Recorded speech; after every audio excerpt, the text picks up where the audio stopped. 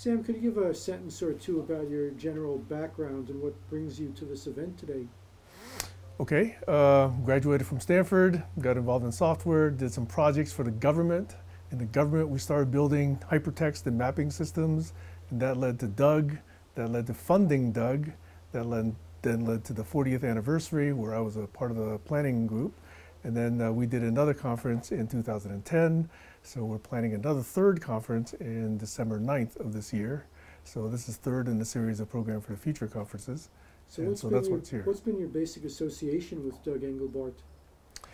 I first came across him in 1991, and as I mentioned, we were doing projects for the government and really building very, let's say, heavy intelligence fusion systems that try to bring data of all different kinds together. So it pretty much wanted to be a hypertext system. And so we wanted to build uh, on existing hypertext technology, and that led us to Doug. We then ended up uh, going, myself and uh, my senior architect, and we went to Doug's uh, workshop, March of 1992. And through that, got the entire vision, not just the hypertext vision. And as, as a result, I've been basically trying to either apply it or develop it further ever since. So, So that's what I've been doing. How, how would you describe Doug's vision? It sounds like you're attempting to implement it. How would you describe it in a, a couple of sentences? Doug's vision, the unimplemented part, is always the part about the human system side. Actually, you know, deep into the guts and the, uh, the heart of people, okay?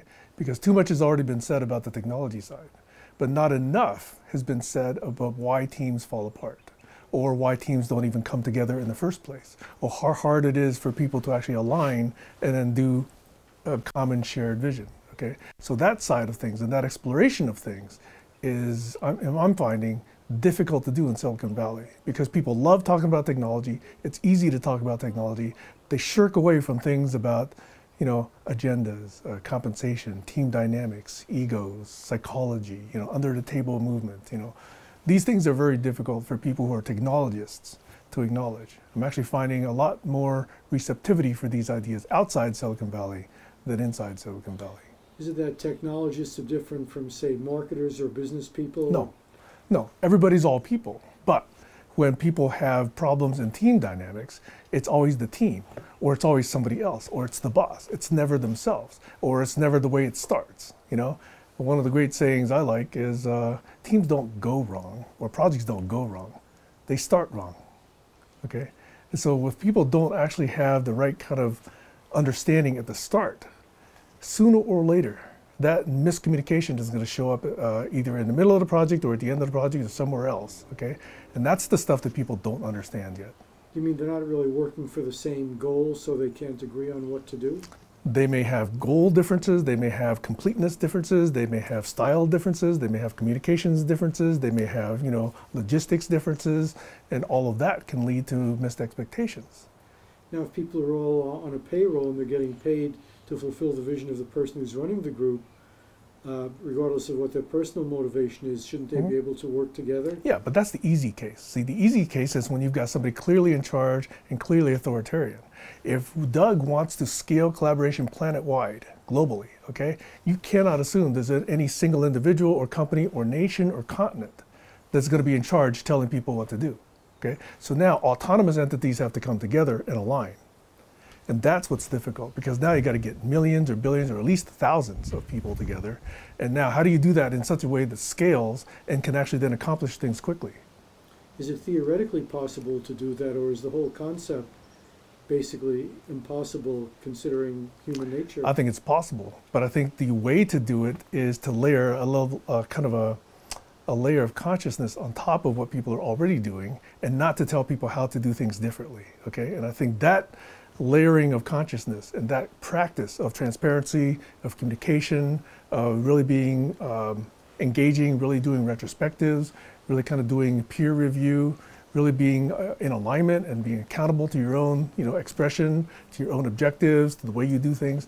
That, I think, is what we're trying to offer as a meta model for how we actually get this uh, consciousness injected into business and operations. So it's, was Doug basically about changing human consciousness?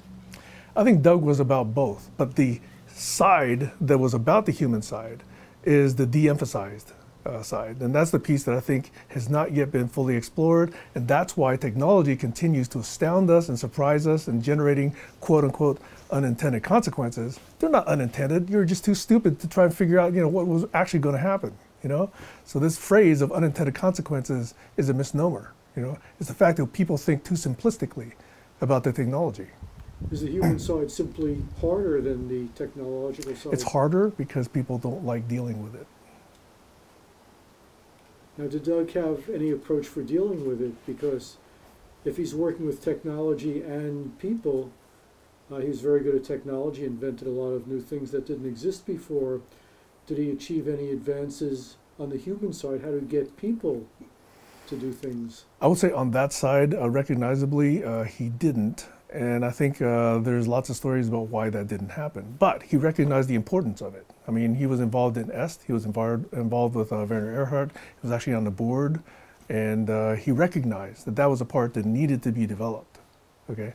And yet, that's a side of the Doug story that doesn't get a lot of play right now. Um, people are always astounded by the technology.